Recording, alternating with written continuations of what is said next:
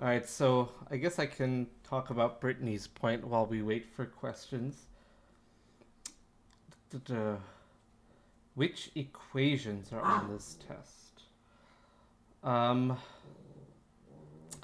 that kind of depends on. Yes, exactly. Uh, so that kind of depends on what you classify as equations.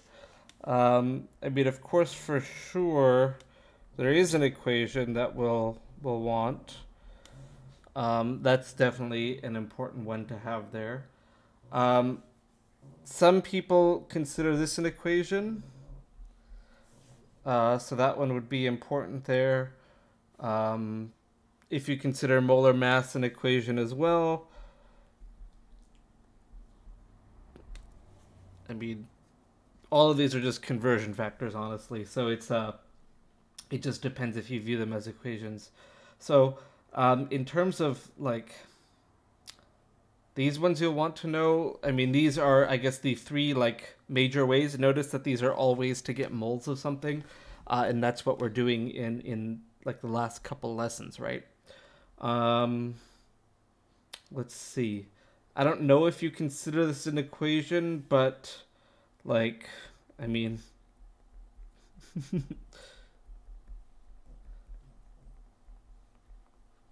like the sum of all oxidation numbers is zero. Um, adding in, let's see. I mean, this would be the stuff that's that's being put there, right? So uh, all like these three equations could be ones that we could use for stoichiometry. Yeah, exactly. So unless it's like a, um, if it's not a compound, if it's an ion. All right, and again, I'm not sure if you want to consider these equations, but technically, yes, they're, I mean, you could say, you know, for CO2, it's, you know, carbon plus two oxygens equals zero, and, you know, you could go from there. So, um, technically an equation but yeah, so but technically, like the the big one that's an actual equation, for sure, the gas law, ideal gas law, um, and then these these ones are also um, going to be an important bit for our yeah exactly. You should get plus four and minus two, yeah.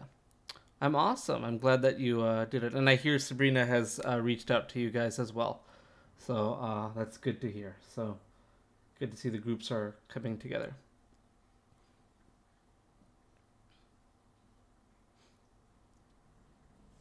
Alrighty, so uh, I think Lamonda is coming up with some questions. Um, yeah, so um, I think your your second sentence there, Brittany, is um, is fine. Yeah, so it's kind of, you know, if we uh, go back to our big old chart, uh, we'll save this for now. Um, if we go to our giant chart so long as you know you, you can use this, um, technically those are your like three equations there. Uh, so you saw molar mass, the molarity, and then the ideal gas law. Um, so, so there we go. So um, if you can, uh, you know, use these three equations to figure out any of these, um, then you should be okay. And I think the homework has a variety of problems like this. Again, I, I don't think I had covered every single possibility, but um, you should have enough in there to uh, to kind of really understand uh, what's you know how to use uh, all of these three. Okay, so it looks like we've got. Hoo hoo hoo. Okay, so Lamonda has some redox stuff. Let's go ahead and look at that.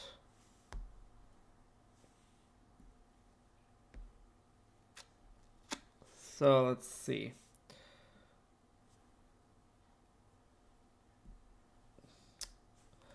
Um, why don't we do a homework problem? Um, Lamonda, if you want, go ahead and just choose a problem from the homework. And let's do the redox stuff for it together. Uh, let me see here. Let me open it up. Yeah, there it is. So um, because, uh, like, so you can choose any of the ones from problem four um, that I've asked you to do redox stuff for, or you can really choose any of the other uh, equations there.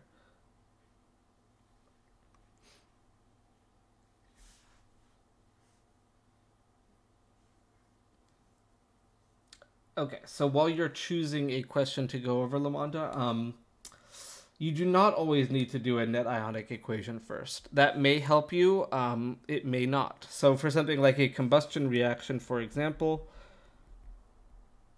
um, I can fix this, yeah. This one is a redox reaction, but there would be no net ionic equation because there's no ions here. Um, so there's um, nothing is aqueous. These would all be gases. Um, so you would not be able to do a net ionic equation. So it's not necessary to do a net ionic equation to figure out redox stuff. For something like a single replacement, it makes it easy for you to do uh, if you do the net ionic equation first, but that may just take time from you that you um, should probably save for other things. Um, and yes, you. Oh, okay. Well, you you can just type. Oh, I guess she's. I can't talk to her while she's logged out. Okay. Let me type it for her.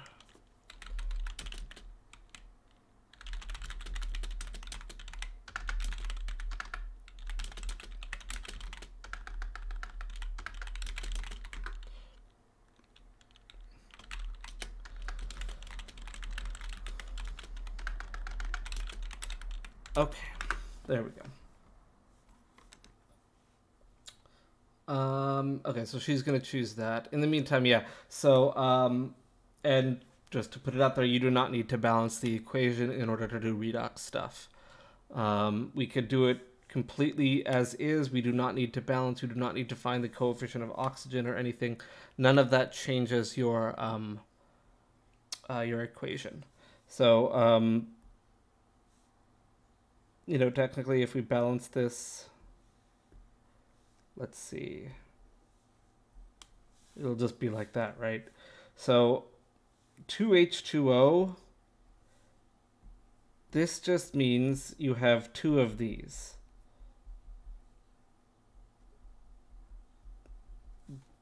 Each one of them you're going to have the same oxidation numbers. So having the balancing there doesn't change any oxidation numbers at all. So uh, it really does not. Um, it, I, it's kind of a waste of time if you want to balance the equation if you're just asked for redox stuff. So uh, that that should be something. Sorry, Lavonda. I don't know why. Maybe. Um, I don't know. I have never been kicked out of Twitch, so I don't know. Maybe uh, someone else in your house is uh, logging on. Who knows?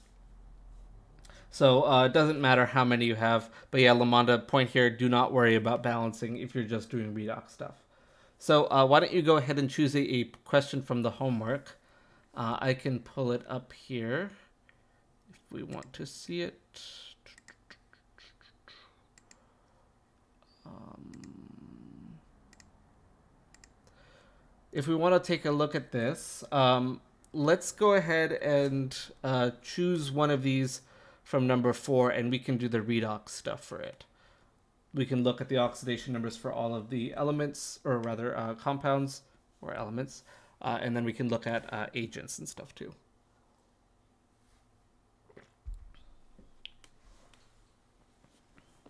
And so, Lamonda, you get the uh, the choice here of which one you'd like us to do.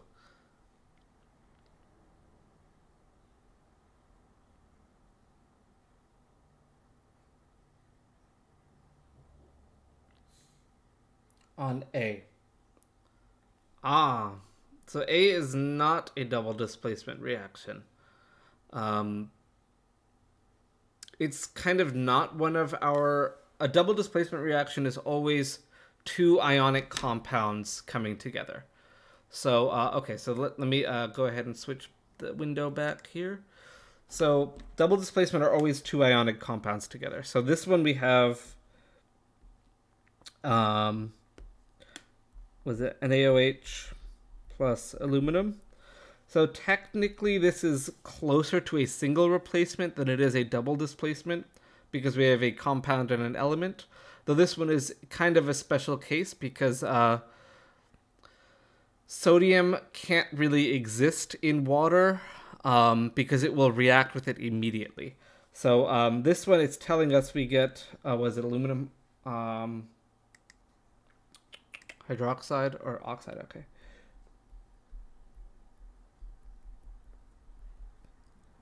Okay.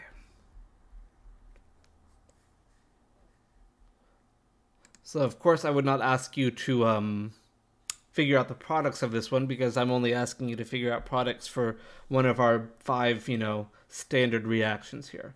So um, while this one is more of a single replacement, um, you might be, you know, tempted to say, okay, we're going to get aluminum hydroxide and sodium, but um, this is not something I would give you as a single replacement anyway. So let's not worry about that. Okay, anyways, let's take a look at this. So for redox stuff, uh, we're going to want to look at each kind of substance in this reaction, and we're going to want to figure out the um, oxidation numbers for all of these. So let's go ahead and just go left to right here. Um, we should see two of these right away are elements. And remember, elements always have uh, an oxidation number of zero. So these two we already know should be zero. Aluminum by itself and hydrogen by itself. So any element by itself should be zero. So now we've got to look at all of the other ones. So the first compound here, the sodium hydroxide, is perhaps the uh, most difficult of these ones because uh, it is a it has a complex ion in it. So we don't have uh, all simple ions here. So this tells us we need to make sure everything equals to zero because it's a compound. We know that sodium in this is a simple ion. And then we have oxygen and hydrogen left. So we'll want to go back to our rules. And uh, the rules uh, give us hydrogen before they give us oxygen. So we're going to have hydrogen as plus 1. And so we're going to see 2 plus oxygen equals 0. So oxygen equals negative 2, which is kind of normal anyway. We would expect that uh, in most situations. Great. Yeah, perfect, Brittany. So uh, if we then go ahead and look at the other compounds, uh, we see these are all uh, just ionic compounds. So they're going to go with the charges uh, of those particular ions. So we know aluminum in ionic compounds is plus 3, oxygen is minus 2 for simple ions, and sodium oxide we're going to see uh, a similar pattern there. So sodium hydroxide is the only one we really had to kind of calculate something for. Okay, well, let's go ahead and now look at all of these and see what is happening here. So sodium oxygen, hydrogen, aluminum. Let's take a look at all of these. So sodium is going from plus 1 to plus 1. Oxygen is going from minus 2 to minus 2. Hydrogen is going from plus 1 to 0. And aluminum is going from 0 to plus 3.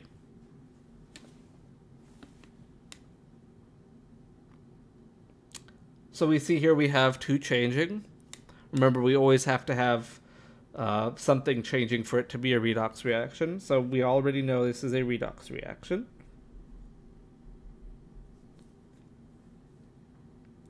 And we see that hydrogen is going from plus 1 to 0, and aluminum is going from 0 to plus 3.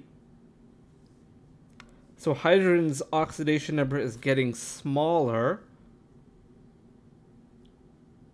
Yes, Ashley, we can do that. So hydrogen is being reduced. Aluminum is becoming more positive. It's losing electrons. So that one is going to be oxidized.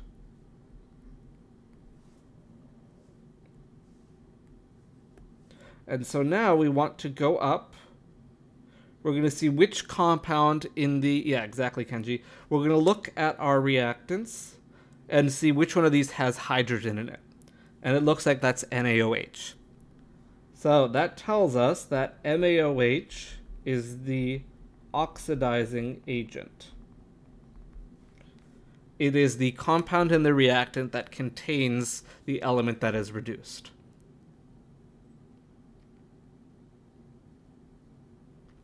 Remember that they kind of just go switch. So the one that is reduced is the oxidizing agent, right? And then the other one we have to look at what's containing aluminum. It looks like aluminum is just by itself. So we can go ahead and say aluminum is our reducing agent.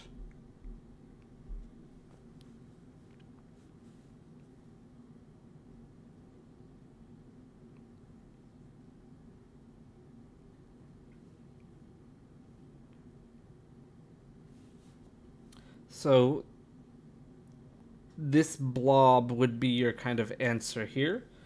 Uh, and all this stuff up here would be like work done. Of course, you don't have to like actually write out something like sodium hydroxide like this. You know, I can trust you can do that sort of algebra, but uh, if you have something that's more complicated, it would be beneficial to do your work there.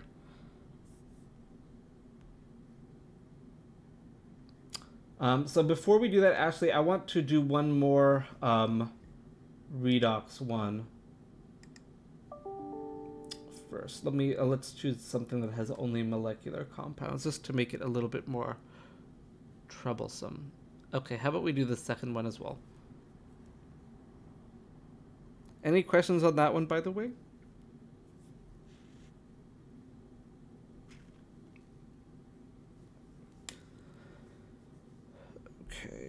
I really should have kept this window open. I don't know why I closed it. Let's see. Okay, NH or N2H4 hydrazine plus hydrogen peroxide turns into nitrogen and water. Okay.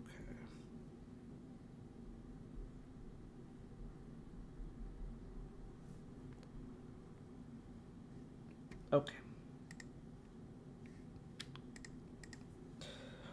So let's go ahead and look at the oxidation numbers for this one. So right away we have one that we can do. Nitrogen is by itself, so it should be zero. Easy. One down, three to go. We've done water a number of times, um, so I'm going to just go ahead and put that in there. Uh, water we've done so many times by now. Uh, water should have plus one and minus two as its oxidation numbers. So the other ones we're going to want to go ahead and uh, calculate for. So we have um, two nitrogens plus four hydrogens equals zero. We have a rule for hydrogen before nitrogen. So let's go ahead and uh, substitute the plus one in for hydrogen. We get 2n equals minus 2. I'm sorry, minus 4. And therefore n is minus 2.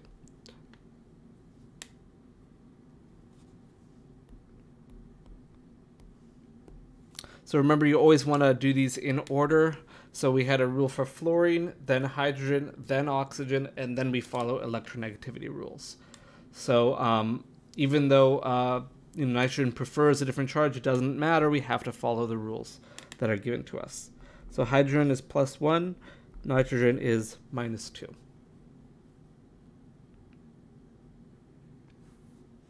Right, next one we have is hydrogen peroxide.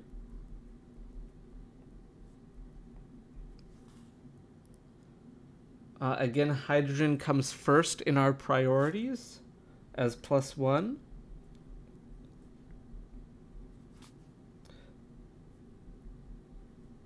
And so in this case, oxygen will be minus one.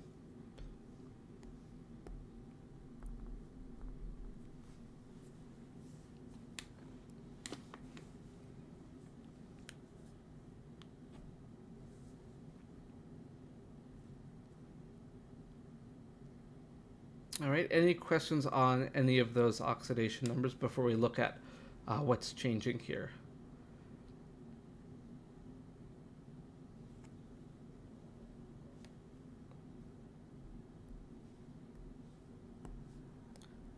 Do we have? Nitrogen, hydrogen, and oxygen. Okay. So nitrogen started as minus 2, became 0. Hydrogen is plus 1 on all of these. I'll just include both of the different hydrogens we had. Oxygen went from minus 1 to minus 2. This is our reactants and products, of course.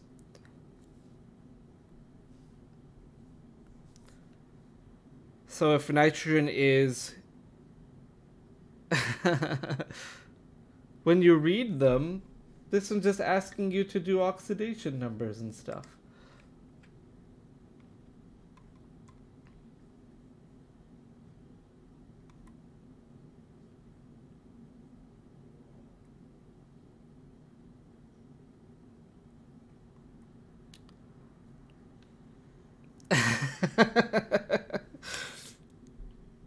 Well, uh, you'll have three more to work on, so it's exactly the same thing we're doing uh, here. So uh, if we look at nitrogen, uh, that one is being oxidized, right? Its number is increasing. Oxygen is therefore being reduced. Uh, its number is going down. So it's being reduced, it's gaining electrons. Uh, and so let's go ahead and look at our agents here. So if, if nitrogen is being oxidized, that tells us that hydrazine there, N2H4, is the reducing agent. And since oxygen is being reduced, it's going to mean that hydrogen peroxide is going to be our oxidizing agent.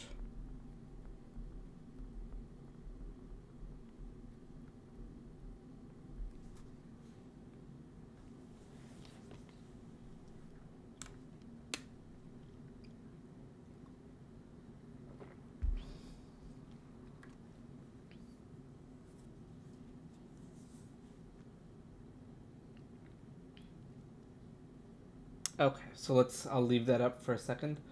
Yeah, yeah, so all of these would, it's all the same process. So for the next ones, you would say, you know, six hydrogen plus six carbon equals zero, and blah, blah, blah, and then calculate for carbon. For, um, uh, you know, really all of these are processes exactly the same. So if you have simple ions, you can kind of work with those a little bit more easily but technically the process is the same. If we go up to that aluminum oxide one, you know, technically we could say yes, 2Al plus 3 oxygens equals 0, and we could solve for these. Um, not really necessary since these are both simple ions. We already have their rules right away. Um, you know, so we don't really need to do this, but yeah, for hydrocarbons, it's exactly the same. So anything for oxidation numbers, this is the process you'll go through. So for uh, anything that doesn't have simple ions or isn't fully made of simple ions, you're going to have to do this little algebra bit here to calculate uh, what your the last element is. So, um, ah, sneeze maybe. Let's see. Nope, not going to happen. Ah, that's the worst. Yeah, so hydrocarbons, same process.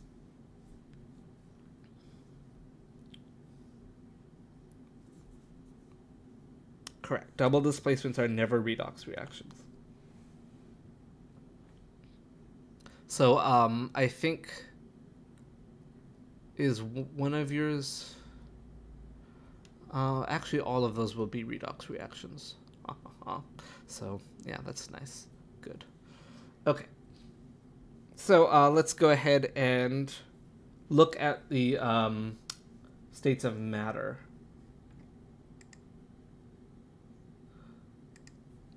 All right, so states of matter stuff.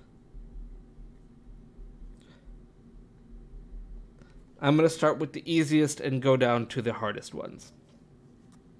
So, easiest one is liquid. Uh, there are two things that will be liquid for us. There would be water or bromine. Ta-da! Uh, and these um, are all going to be from double displacement or single replacement reactions. For other types of reactions, you may not know what the states of matter are going to be. Uh, simply because those reactions may need to take place at a high temperature. Like, for example, combustion, we're producing a lot of heat that is going to cause our water to be gaseous instead. But we're not going to worry about combustion. For double displacement or single replacement, that's what I'm going to be asking you the uh, states of matter for. So liquid, easy. Water or bromine, done. For gases, we have hydrogen sulfide is one of them. And then we also need to remember that if we produce one of these,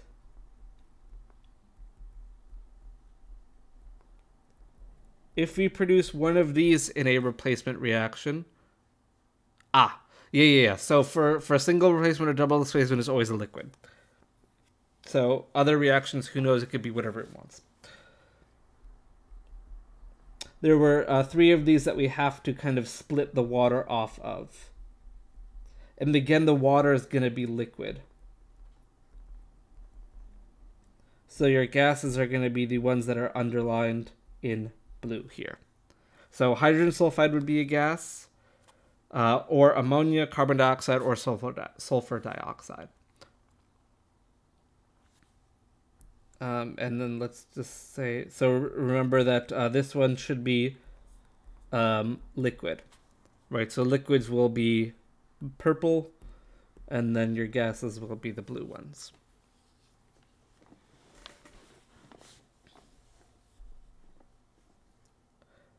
All right, so those two states are the easier ones. Let's go to the hard ones then. So aqueous is next. Um, and this is going to be the stuff that is soluble, right? So these are going to be your soluble ionic compounds if at least one reactant is aqueous. And then, of course, your acids are also aqueous. So you kind of have two things that could be aqueous here. Okay, so solubility rules. Let's just do those one more time. So I, I think, Ashley, you use a chart, which is totally cool. You can totally use a chart for this. Um, but I'll just uh, reiterate the rules that I use. So um, anything that has our group 1 ions or ammonium or acetate or nitrate will be soluble. Anything that has any of those. So always will be soluble. Let's make the nitrate a little bit nicer here. Two, we have our halides, which are chloride, bromide, iodide. But remember there are three exceptions here.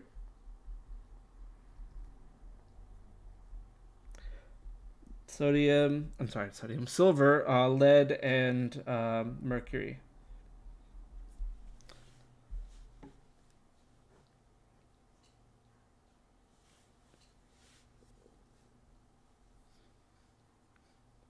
So that tells us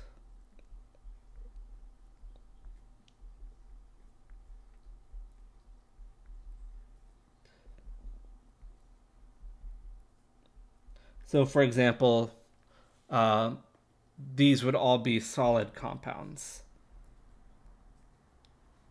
But something like cobalt chloride should be aqueous Or, um, I don't know, how about aluminum iodide would also be aqueous.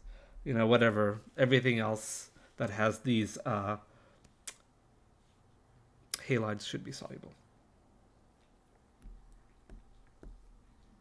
Okay, and the last one we have is sulfates. So that is going to be anything with the sulfate ion will be soluble, except, I have a lot of exceptions here. Calcium, strontium, barium. And then we also have the same three ions from before.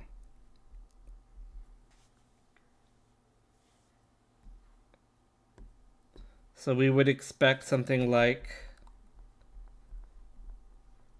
iron 2 sulfate would be soluble, but lead 2 sulfate would be solid. Okay, or let's see, how about chromium 3 sulfate? Would also be soluble but not barium sulfate or calcium sulfate or whatever. So um, that's how the exceptions work. And then we assume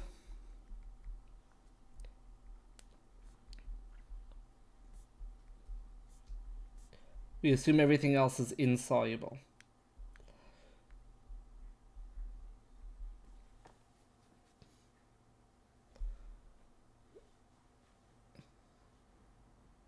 All right, so anything that's not covered by these rules, we would expect to be insoluble. And so those will be our solids.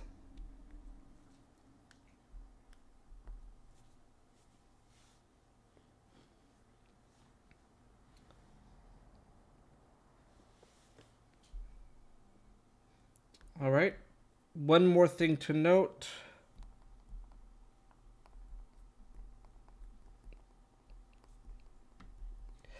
Elements by themselves are typically solid. Uh, your periodic table should show you which ones are which state of matter. But uh, for liquid, we only have, did I just say, oh, that works.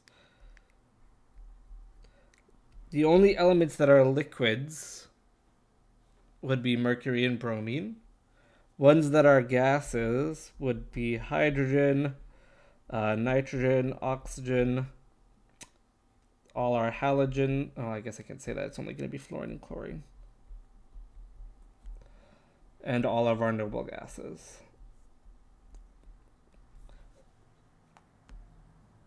And then all other elements are solid.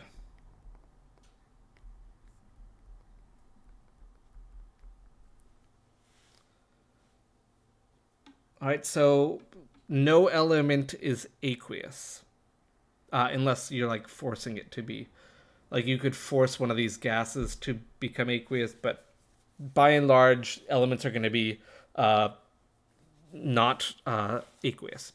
So, for example, like aluminum metal, you know, does not dissolve in water, right? If you take a piece of aluminum foil and put it in water, it doesn't just dissolve, you know, or worse, if you're cooking with aluminum pots and pans, you know, those don't dissolve while you're cooking. That would be a giant mess right? So um, uh, that's the only thing. Uh, again, your your periodic table should show you um, the state of matter for all the elements by themselves, um, but technically, there you go.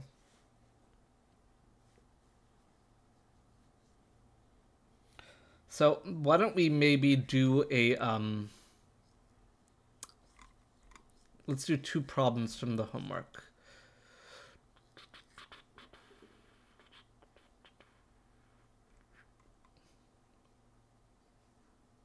Okay, how about we do, how about we do 6A? So that's telling us aqueous sodium sulfide and hydrochloric acid are being mixed together. So again, we're going to need to translate from the um, names to formulas. So you thought you could forget your naming rules, but no. What is the formula for sodium, or did I say sodium sulfide? Yeah.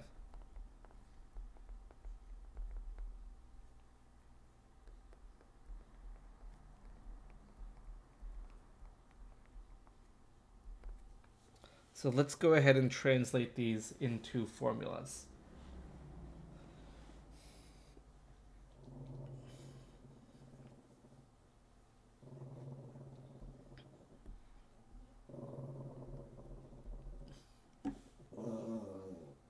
Can you hear Creature making his sounds from under the desk? These are the word problems. There's four words, Kenji.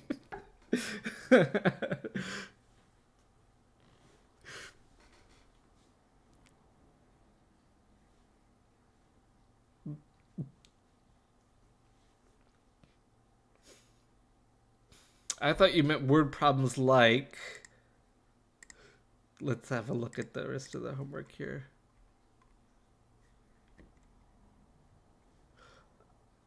Uh, something like seven, or really seven through twelve. I would expect those to be, um, uh. Okay, sounds good, Lamonda.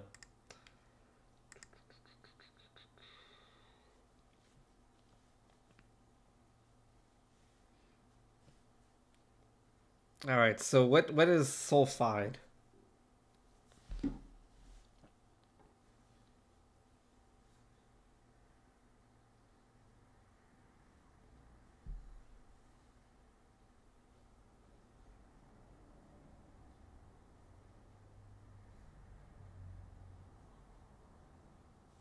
Hopefully we also know by now that hydrochloric acid is HCl. But uh, let's see. Yeah, uh, not quite Kenji. Why? Why is that not quite right?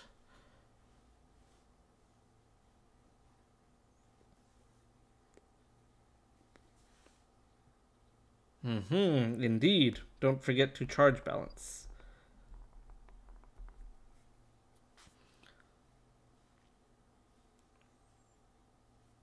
So, okay, so this has said that the sodium sulfide is aqueous.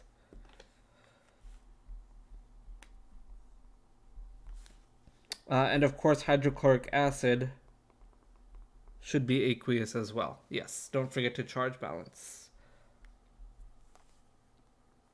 So, what type of uh, reaction is this going to be?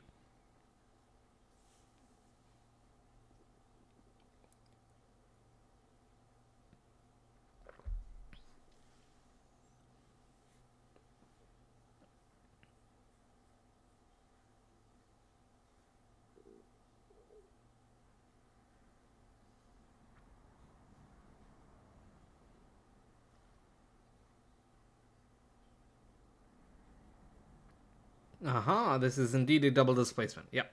We have two ionic compounds that we're putting together. So, um, this tells us that it's a double displacement reaction.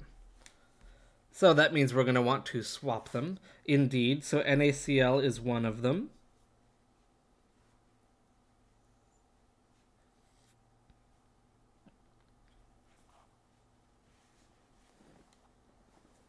So that came from the ones in blue.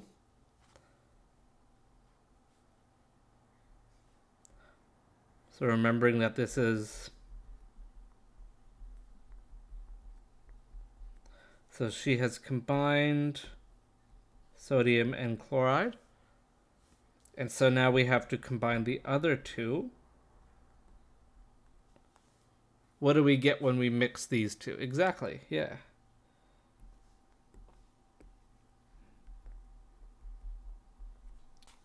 All right, so now let's uh, go back and look at our uh, states of matter. Exactly, Brittany. Yeah. So if we look at our states of matter, we have sodium chloride as the first one. So let's go ahead and check our solubility rules. Aha, look, anything with sodium should be soluble. We also know anything with chloride should be soluble, so for sure, um, sodium chloride should be soluble. and therefore aqueous. We know that because um, we have at least one reactant that is aqueous, so we have water around there. H2S, though, uh, remember, is one of our. Where did it go? Aha! That one there is one of our gases. So uh, remember, we're going to have four gases. H2S is one of them. So um, that's one that you'll just need to know. Uh, typically, will form a gas. That's your nasty, um, sulfury, you know, uh, rotten egg smell. Is H2S. So we know it's a gas because it goes right up our nose, and we think it's gross. So this one should be a gas.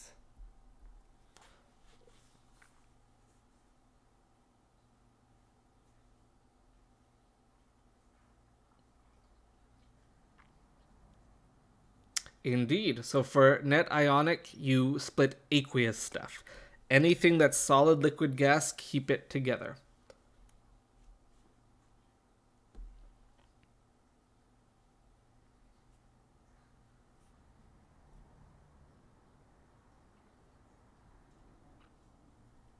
So you will see that sodium and chloride are spectator ions. So your net ionic equation is just going to be two hydrogen ions plus the sulfide ion turning into H2S gas. Hooray! But I'll let you deal with that, just so we can do uh, another one. We can do the one that Lamonda did ask for, which was...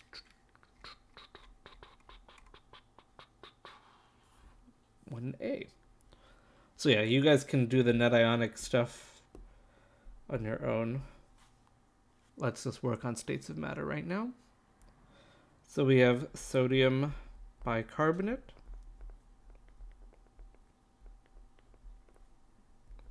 Plus oxalic acid.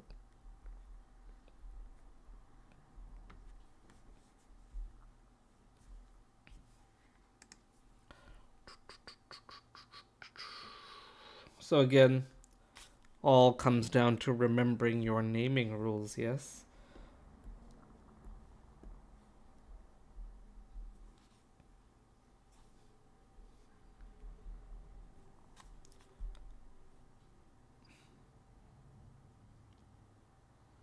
What's the bicarbonate ion?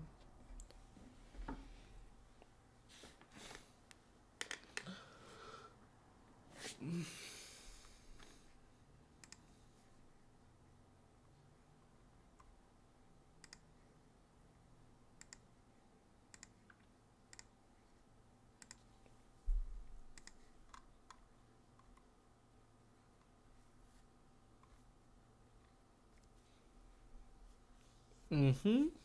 Don't forget the charge though. Minus one. All right. Oxalic acid. Let's see what that's going to be. So it has the ending ic acid. Remember that ic acid means ate, right? Uh, so the, the suffix ic acid comes from something that ends in ate. So we're looking for oxalate. And so what's the formula for oxalate?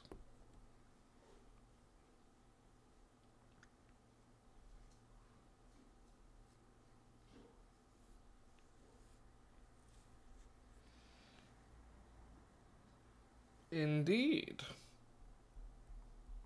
And that has a 2 minus. So let's go ahead and charge balance these. Once you do so, And I believe I said this was aqueous to start.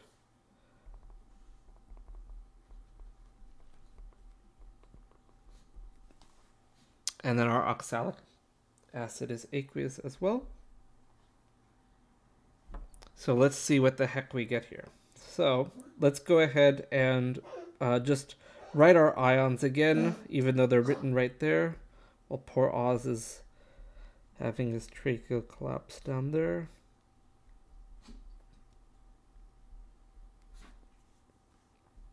So we're going to want to,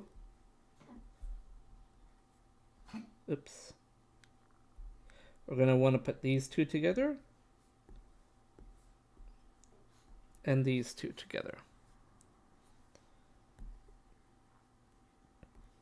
So if we do the light blue one, we should get sodium oxalate.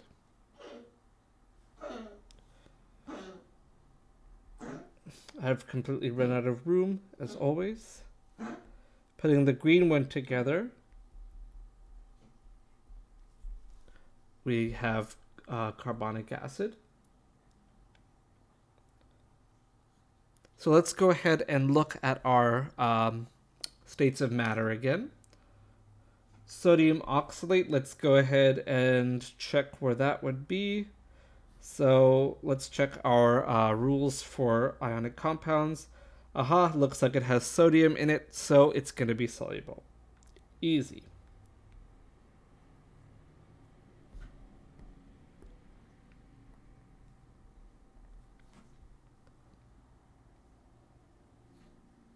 And now let's go look.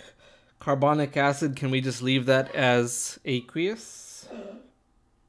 Hmm, we cannot because carbonic acid is one of our special ones. Exactly, we have to break it apart.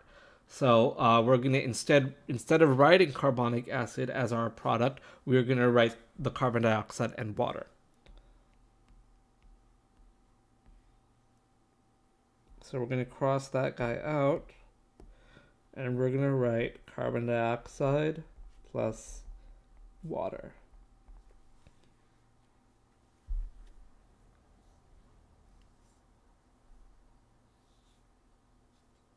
So again, the, the gas ones you're just going to kind of want to need to remember to keep an eye out. So um, carbonic acid will immediately break down into CO2 and water.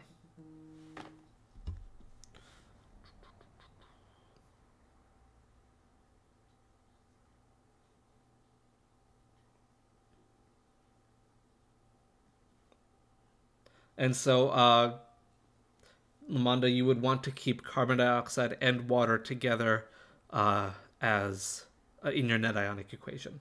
So don't break those guys up.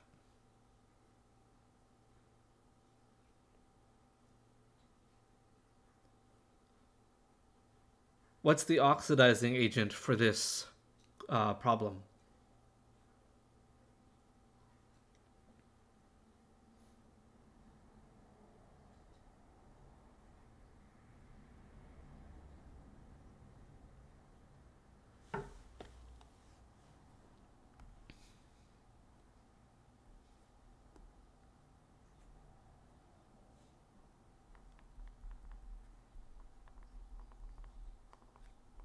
Is that so?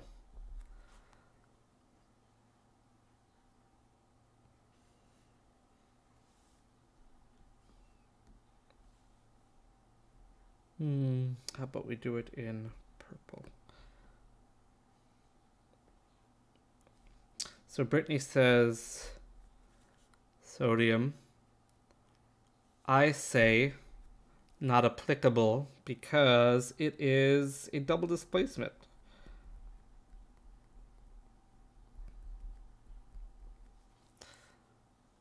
Indeed. So there is no oxidizing agent.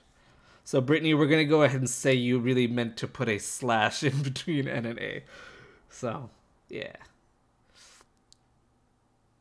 So there's your trick question for the day. Of course, I couldn't just ask you like immediately, like poof.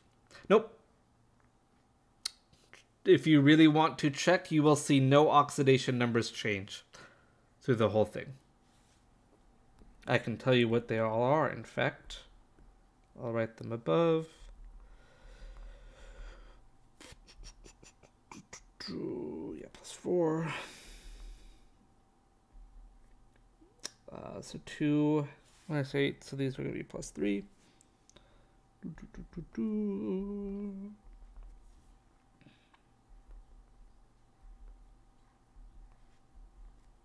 So you'll see, in fact, Yes, we can. uh, so you'll see, in fact, none of the oxidation numbers change. So the ox, uh, the carbon that's part of oxalate stays as plus three. The carbon that's part of carb bicarbonate turns into carbon dioxide, and that one Yes, we can do that, Kenji. Sure, no problem. So, yeah.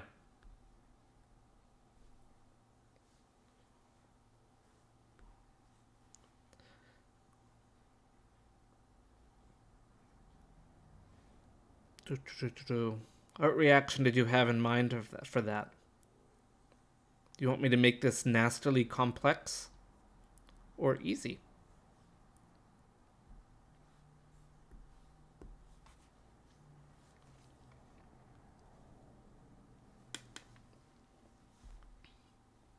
Just easy. Okay, fine. So, uh, how many moles of water will make? Okay. So trying to, uh, we can do an electrolysis reaction. So this is how they make hydrogen for your uh, hydrogen-powered cars. Uh, if you apply electricity, you can get uh, water to break apart. So we're going to want to balance this. Ta-da!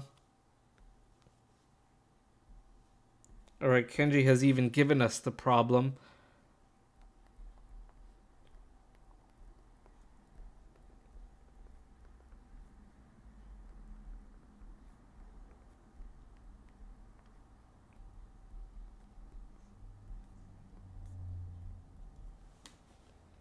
Oh, Kenji, this is too easy. This is too easy.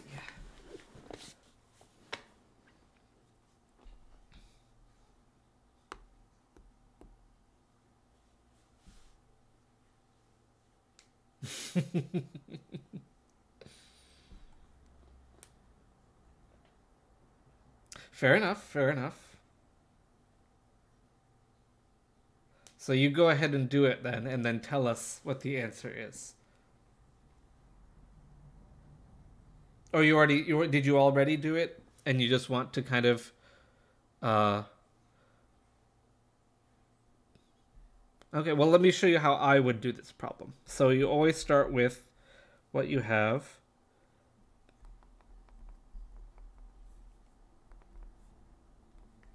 We always have to put the unit we're getting rid of on the bottom, uh, and we want to put what we're what we want on the top.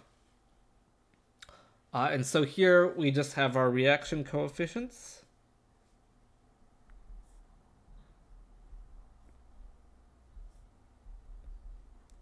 Ta-da!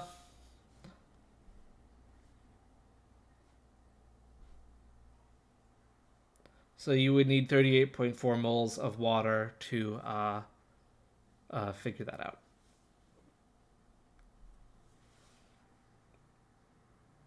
Sure, Lamonda, we can do that. Let me just see. Uh, Kenji, is this... Uh, we do the recipe way.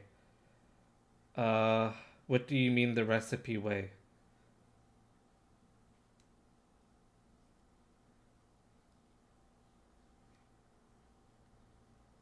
Do you mean like a limiting reactant type situation?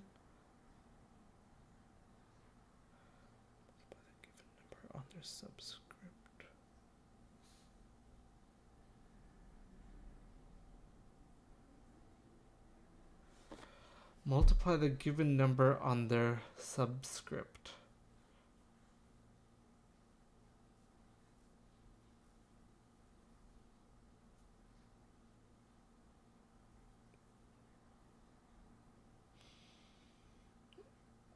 Frankly, Kenji, I'm not quite sure what you mean by that.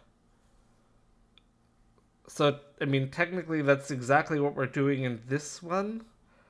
Um, are you just saying multiply by 2 because of because of the coefficient? Because the subscript for oxygen would be this one.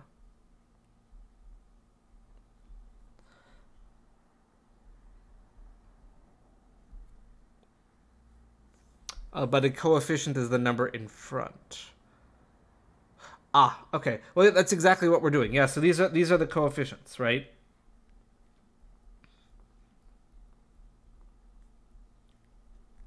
So, um, I mean, yeah, I guess it, it you're you could just do it that way, but that would only work if the coefficient is one for the other one. So um,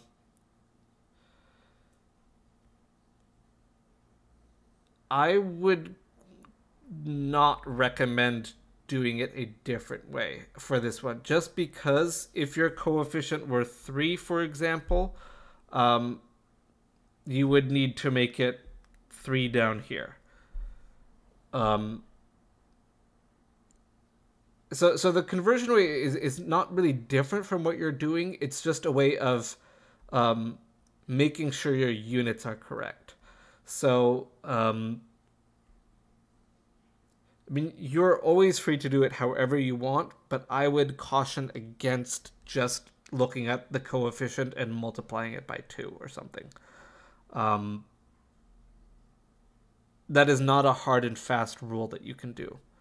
So it will work if you're it will work in a very narrow situation. That will work if you have a coefficient of 1 for your other substance and if you're given moles to start and you're asked for moles. So that's a very narrow question that you could apply that to. You're welcome to apply it to that. It would work, but just be aware that if your uh, equation or question is more complex, it will probably not work.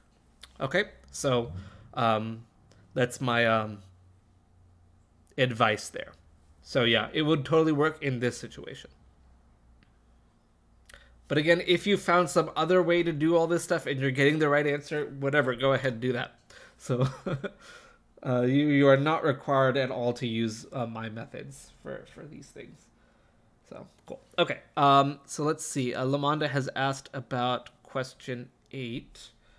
Let's have a look at question eight. Cool. Alrighty.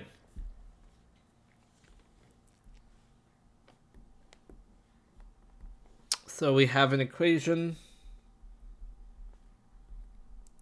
This is Kenji's favorite type of equation, in fact. And we're given delta H equals negative 37552.39 kilojoules. Okay.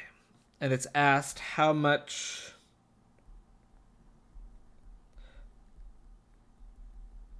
uh, how much of this to produce 5000 kilojoules.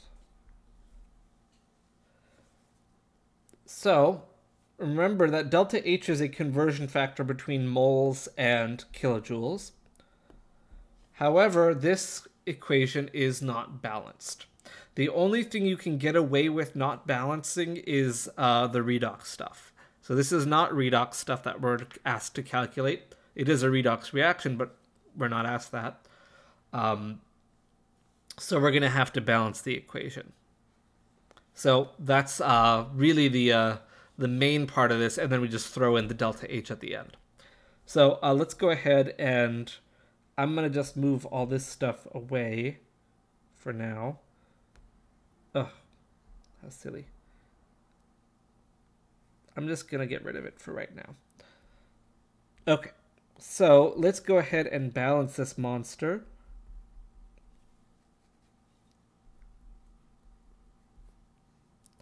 We have six carbons, 10 hydrogens, two oxygens. We have um, one carbon, two hydrogens, and three oxygens. Yes. So Lamonda, yeah, you've definitely got to balance it first. Yep. Because remember, delta H will be equal to the coefficient of your uh, substance. So um, do we want to do this where we're going to get fractions potentially, or do we want to just double it at the start? Which way do we want to balance this?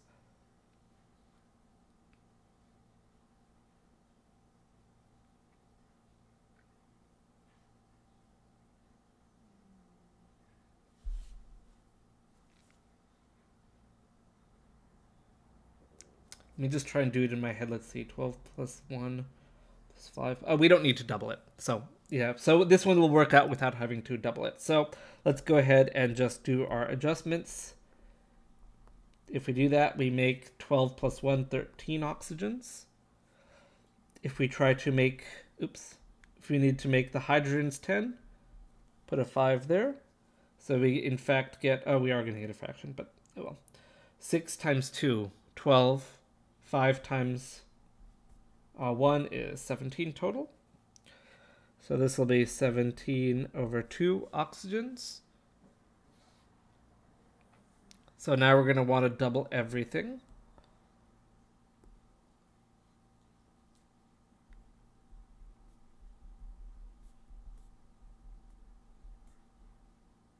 Oops.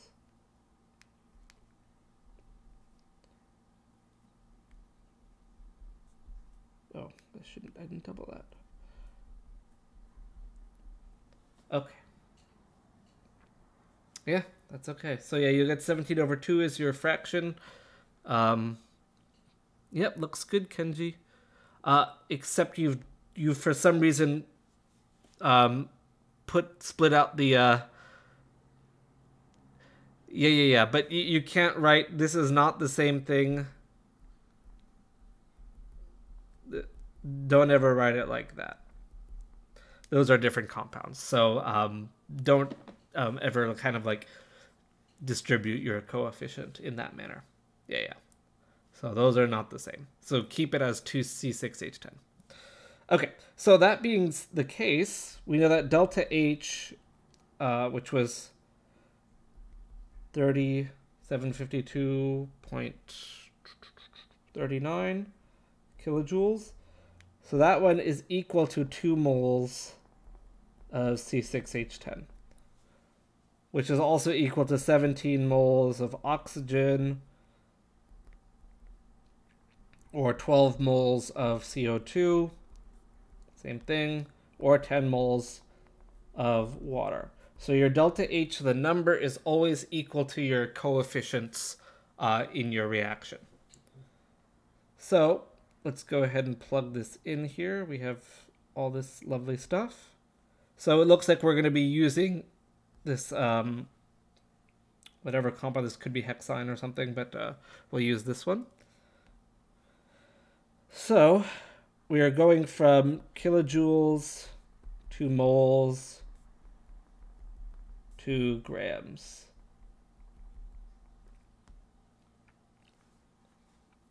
So um, you would you know start with your kilojoules that you're given. You'd put your kilojoules at the bottom.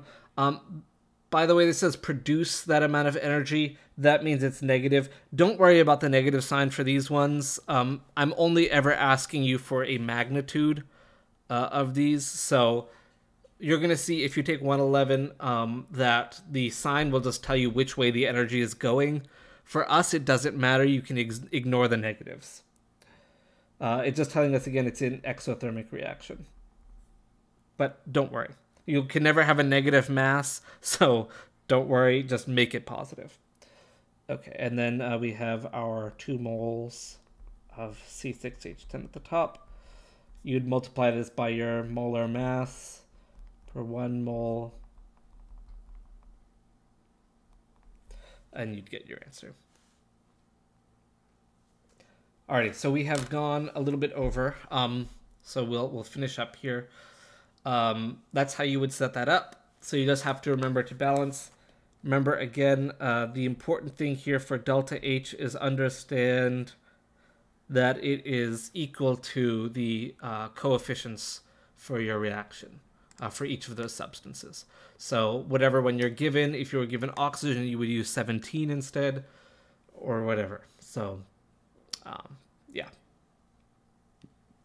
Alrighty, so um, make sure, last little bits here, make sure you have Proctorio installed and all that, uh, and that, you know, it may be a good idea to take the practice quiz again right before you take the exam, just to make sure everything is working so you don't start your exam time uh, while doing that.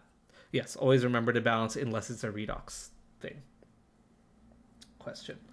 Um, yeah, so just take that other one real quick again. You put in a bogus answer, who cares? Just to make sure everything is working for you.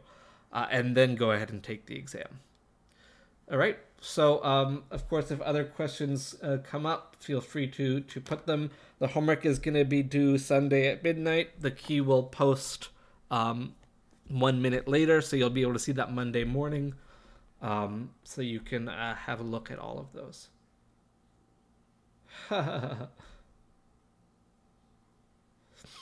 Alrighty. Well, uh, in that case, yeah, yeah. Don't worry. That's not what I'm worried about. So, yeah, unless your kids are feeding you answers or something, or the dogs are giving you answers, then we have a problem. But yeah, other than that, that's fine.